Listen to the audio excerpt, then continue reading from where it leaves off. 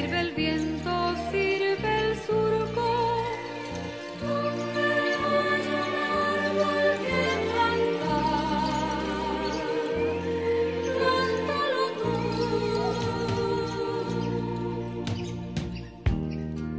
Donde haya un esfuerzo que todos esquivan, acéptalo tú.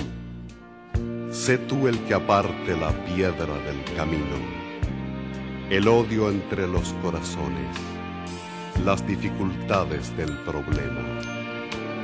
Hay la alegría de ser sano y la de ser justo.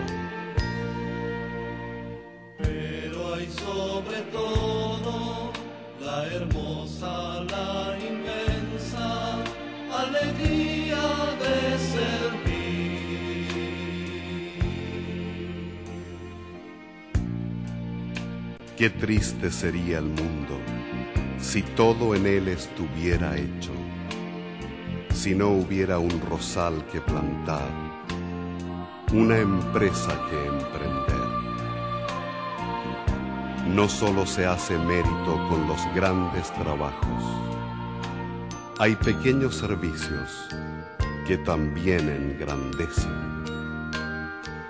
El servir no es faena de seres inferiores.